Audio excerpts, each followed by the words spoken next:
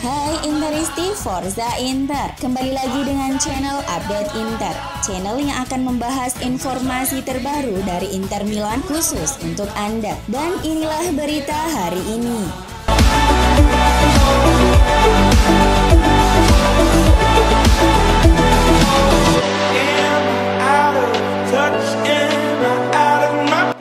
Inter akan melawat ke kandang AS Roma pada Giornata ke-16 Serie A Minggu 5 Desember 2021. Pertandingan di Stadio Olimpico ini dijadwalkan kick-off pukul 00 waktu Indonesia Barat. Ini bakal menjadi ajang reuni buat Jose Mourinho juga Edin Zeko. Mereka bakal bertemu dengan mantan klubnya. Mourinho yang mulai musim ini melatih Roma adalah ex-pelatih Inter periode 2008-2010 yang membawa Nerazzurri meraih 5 gelar, termasuk dua Scudetto Serie A serta treble musim 2009-2010. Mourinho belum pernah menghadapi Inter setelah hengkang dari klub. Ini bakal menjadi yang pertama kalinya. Sementara itu, Zeko adalah striker Roma periode 2015-2021 yang gabung dengan Inter musim panas kemarin. Dia sudah mencetak 10 gol dalam 20 penampilan untuk Inter di semua kompetisi musim ini.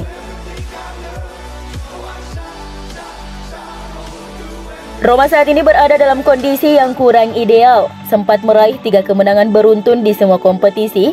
Roma kalah 0-1 dari tuan rumah Bologna di laga terakhir mereka. Sialnya lagi Temi Abraham serta Rick Karsdorp mendapatkan kartu kuning dan harus absen melawan Inter akibat akumulasi. Mourinho pasti pusing karena dia juga kehilangan beberapa pemain akibat cedera.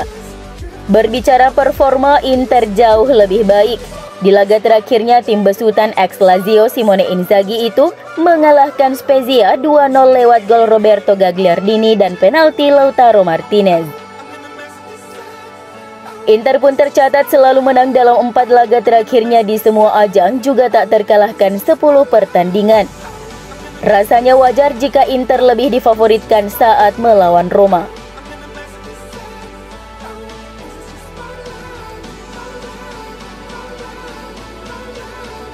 Back Inter Alessandro Bastoni akan kembali ke starting eleven saat Inter melawan Roma dini hari besok. Sementara itu, Stefan De Vrij kemungkinan masih akan absen karena cedera.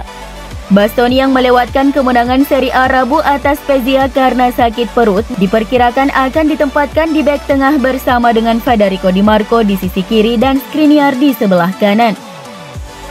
Sementara itu, Nicolo Barella dan Edin Zeko diperkirakan akan dimasukkan kembali ke starting eleven untuk pertandingan dini hari nanti.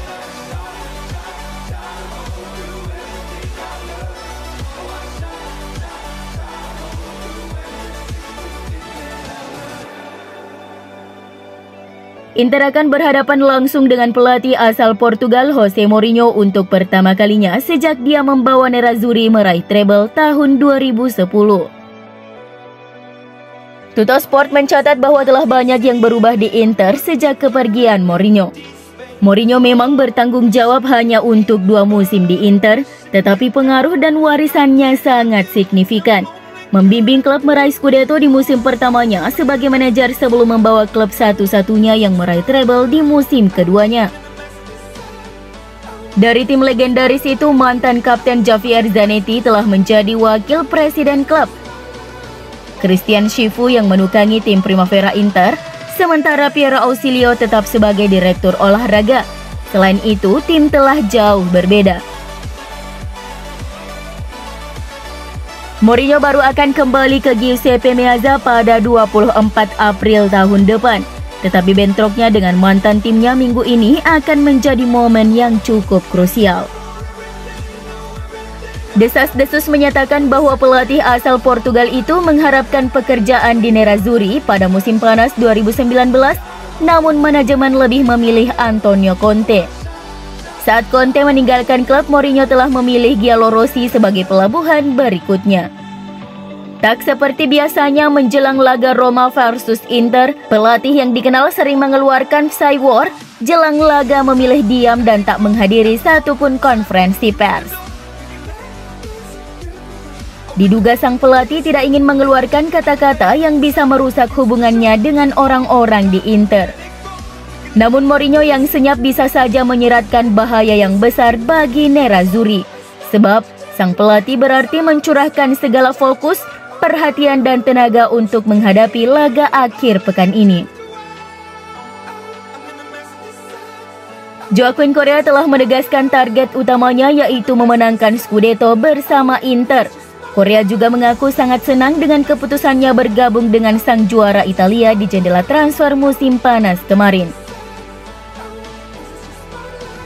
Saya mengalami beberapa cedera otot yang membuat saya absen, akan tetapi staf dan rekan setim menyambut saya dengan baik. Saya senang di sini dan saya benar-benar ingin mencapai tujuan tim. Ujar Korea saat diwawancarai oleh Gazeta dello Sport jelang laga kontra Roma. Inzaghi adalah pelatih yang hebat, seseorang yang membuat Anda merasa lebih baik. Di Lazio, ia mencapai hasil yang sangat baik, membangun grup yang solid. Dia adalah pelatih yang ambisius dan sempurna untuk Inter. Saya ingin membantu Inter menegaskan status mereka sebagai juara Italia dengan memenangkan Scudetto. Saya ingin meraih Scudetto bersama Inter sekaligus memenangkan Piala Dunia. Itu adalah impian karir saya.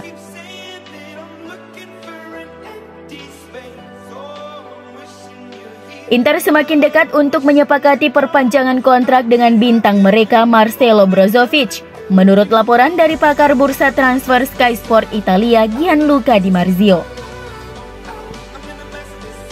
Di Marzio menjelaskan bahwa pemain Kroasia itu lebih mungkin untuk menyetujui pembaruan kontrak di Inter ketimbang pemain top Serie A lainnya, termasuk Frank Kessie di Milan. Brozovic bergerak lebih dekat untuk menyatakan ia mencapai kesepakatan dengan Inter, sedangkan Casey lebih condong untuk mengatakan tidak pada saat ini, ujar Di Marzio.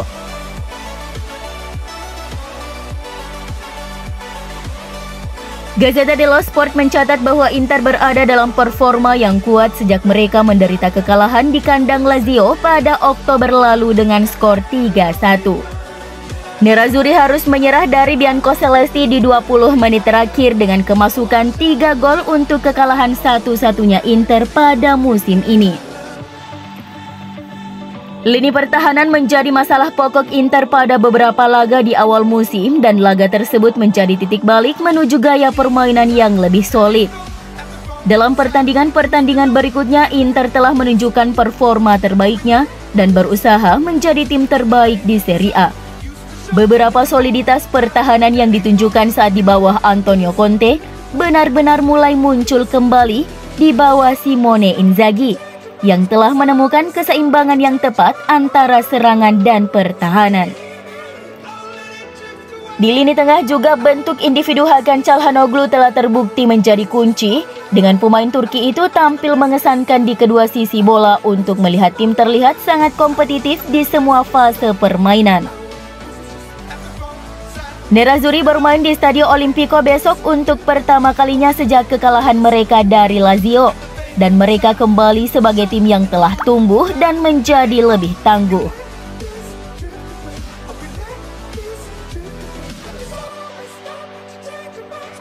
Inter dan AC Milan terpisah oleh rivalitas yang sengit. Namun bukan berarti itu jadi penghalang buat Nerazzurri untuk memberikan pesan berkelas buat pemain Milan Simon Jair. Bek berkebangsaan Denmark tersebut kebanjiran pujian usai menjadi penyelamat Christian Eriksen di ajang Euro 2020 lalu. Baru-baru ini ia tertimpa kesialan. Jair mengalami cedera parah ketika Milan bertemu Genoa.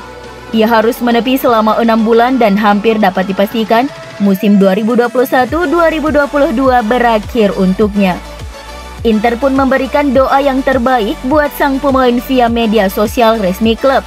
Seorang juara tidak hanya dikenal karena bagaimana ia bermain. Cepat kembali Simon, kami menunggu Anda di San Siro untuk memberikan aplaus yang sepantasnya. Tulis Inter Milan di media sosial Twitter.